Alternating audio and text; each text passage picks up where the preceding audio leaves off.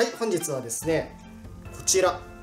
ワシンさんという会社から出されています水性の工芸漆っていうものを塗ってみたいと思います。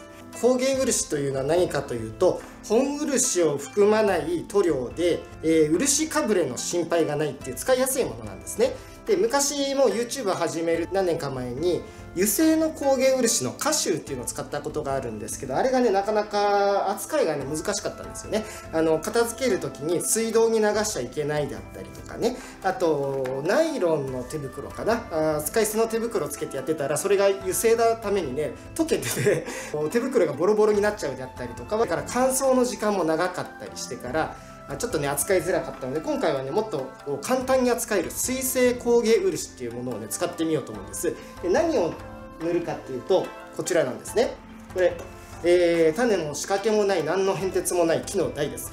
今度新酸結成をやるときにその一連の儀式の中でね行事の中で配薬本則行茶っていうものがあるんですけどその時にねえー、ちょっとね座ってと言いますか膝立ちになってと言いますかねそんな姿勢でお線香にこう持ってるものをこうやってね、えー、こうこちょっとね単語が出てこない。何て言うか まあちょっと、ね、あの言い回しが思い浮かばないんですけどこうやってね、えー、あ訓じるそうそうそう訓じるシーンがあるんですよ。でお寺にある香炉を置く台っていうのは基本的に立った姿勢で昇降したりであったりとかねそういう風なことを想定してますので高さがね結構高いんですよ。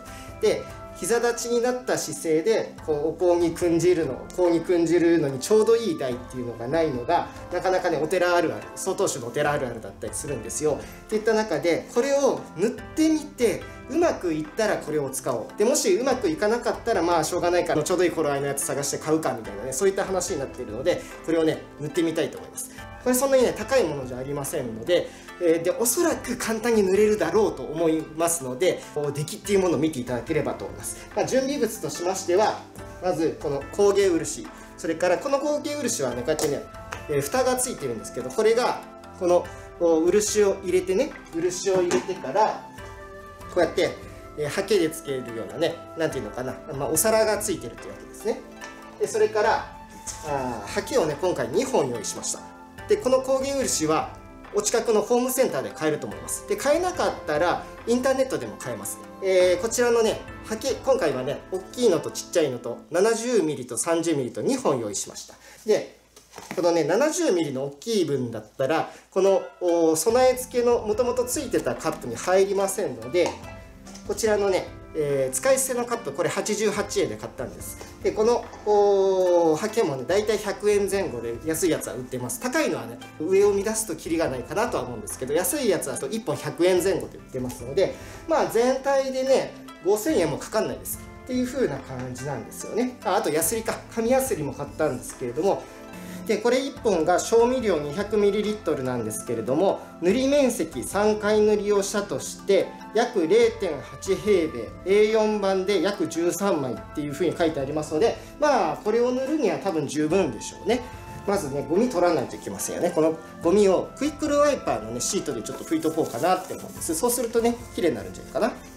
でこぼしちゃったらいけないので紙シートいきましょうね。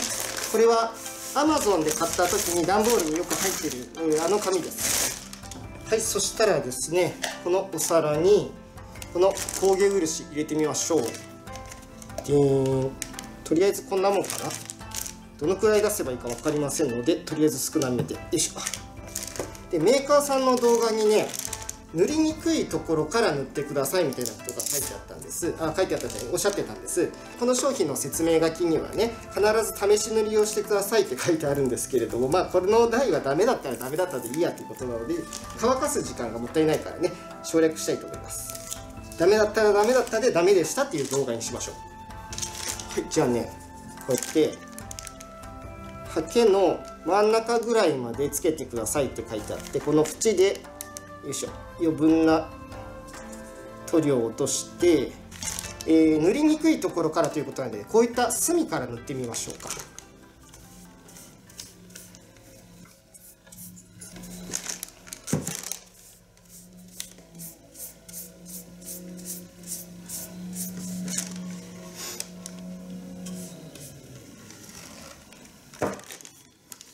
ああそっちか。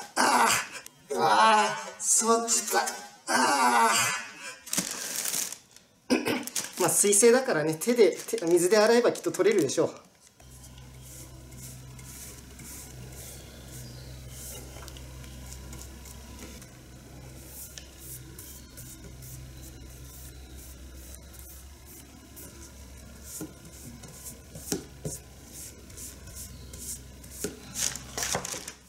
はいこんな感じでね、えー、1, 1塗り目塗ってみました。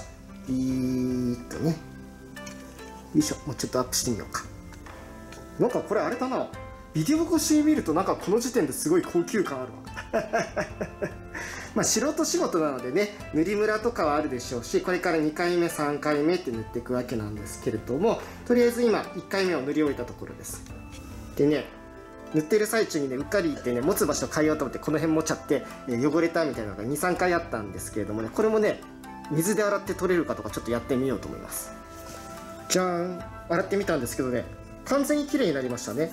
最初ねハンドソープで洗ったんですけどハンドソープはねあんまり関係なかったです。ハンドソープじゃなくてやっぱりぬるま湯になってからがよく落ちました。でぬるま湯でこういう感じでねちょっと冷たて気味でグリグリグリグリやるとよく落ちた感じでした。で匂いなんですけど匂い全然ないですね。無臭です。無味無臭。いや味わかんない。味わかんない。味わかんないけど無臭です。全然匂いしない。で油性の工芸漆の歌集っていうやつを昔塗ってみた時はすごい匂いがきつくってから1週間ぐらいかな作業したところ1週間ぐらい匂い残ったんですよね。で完全にその塗ったものから匂いが抜けるのはもっともっとかかったんじゃないかな。何ヶ月単位でひょっとしたら残ってたかもしれない。そこまで覚えてないんですけれどもそういったこともありますので多分ねその仕上がりっていうのは油性の方が綺麗になるんでしょうけれども扱いやすさは断然違うなって感じです。その環境に対する部屋とかのねそういった環境に対する扱いやすさも含めてこの水性の方がすごい扱いやすいなって感じ。この左手もね綺麗になったしね。はい6時間ぐらい乾燥したところです。ちょっと触ってみましょうか。あっツルツル。ツルツルでおおよく乾いてる。おーおーおーおすごいすごい。あいいじゃん。でこれねメーカーさんの動画によると塗ると表面が毛羽立ってちょっとザラザラしたようになるので、えー、ヤスリをかけてから2回目3回目の重ね塗り重ね塗りをしてくださいっていうふうなことをおっしゃってたわけなんですね。なんだけど触った感じすごいツルツルだちょっと厚塗りすぎたのかなまあでもそういうことなのでちょっとおやすりかけてみようか。そういうふうに言うんだもんね。はいこちらがですね600番のやすりになります。でこれをああ張り付いてる。危ねえ。こぼれなくてよかった。よいしょ。ちょっと裏がねくっついちゃったかな。ちょっと裏がねくっついちゃったかな。これをそーっとね優しく優しくやすりをかけてやります。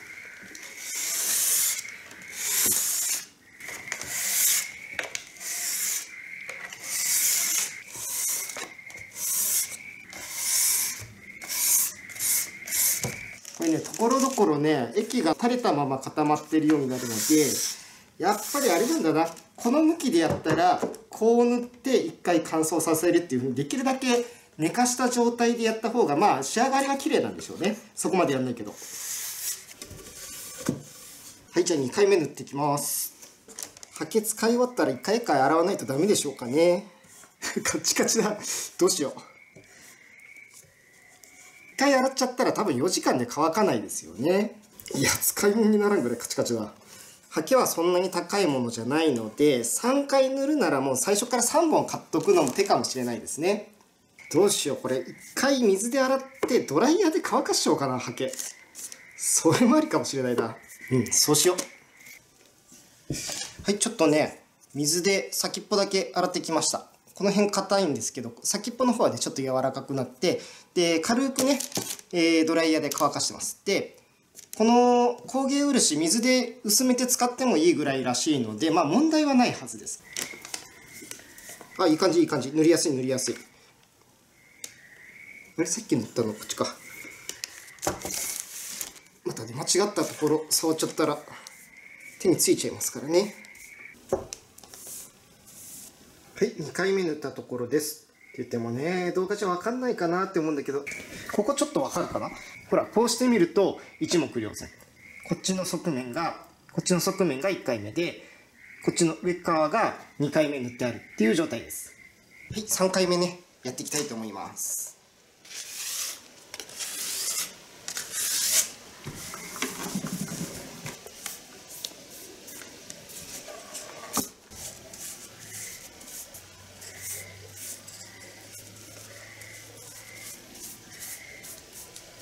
はい3回目塗ってみました。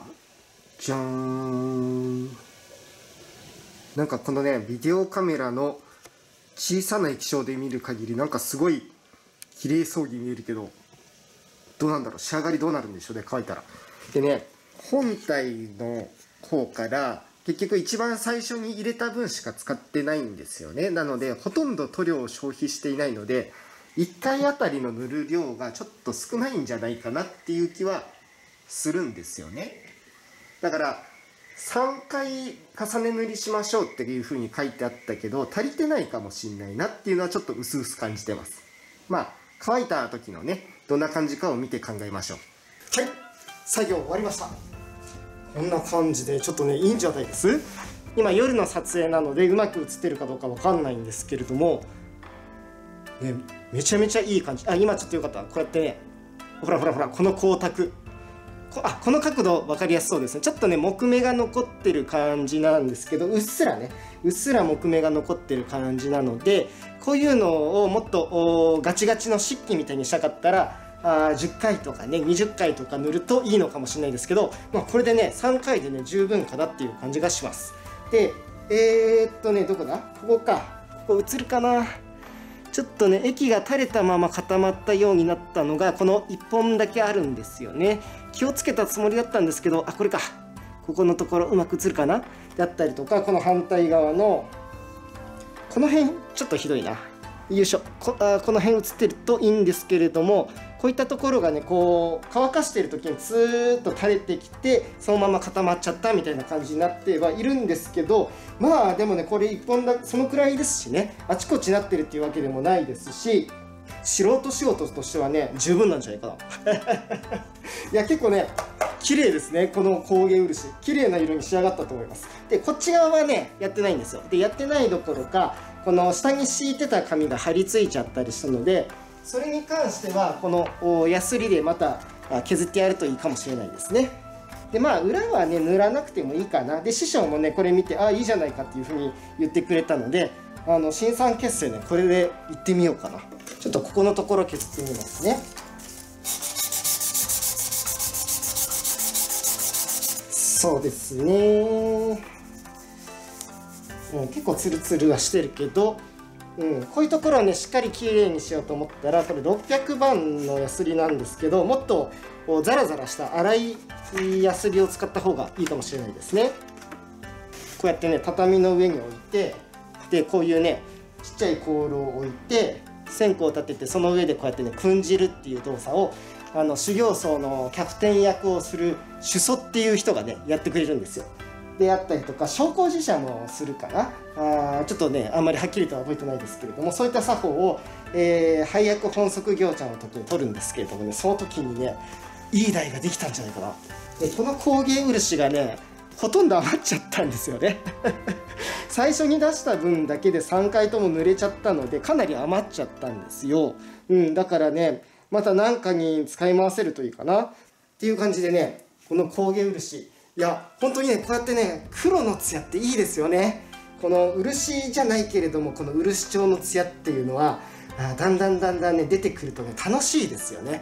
塗ってるうちにすごい楽しかったです。というわけでね、えー、全国のお寺さんもしねこれご覧になってやってみようと思ったら塗ってみていただければと思います。昔のね学校の水彩絵の具感覚で、えー、簡単に塗れました。油性の方はちょっと扱いがめんどくさかったんですけどこっちの水性の工芸漆の方はすごい扱いが簡単でしたのでおすすめです。という感じのお話をいたしましてね本日の動画はここまでとさせていただきます。皆様ご視聴ありがとうございました。チャンネル登録よろしくお願いいたします。それでは皆様合唱。はい。はい。また見てね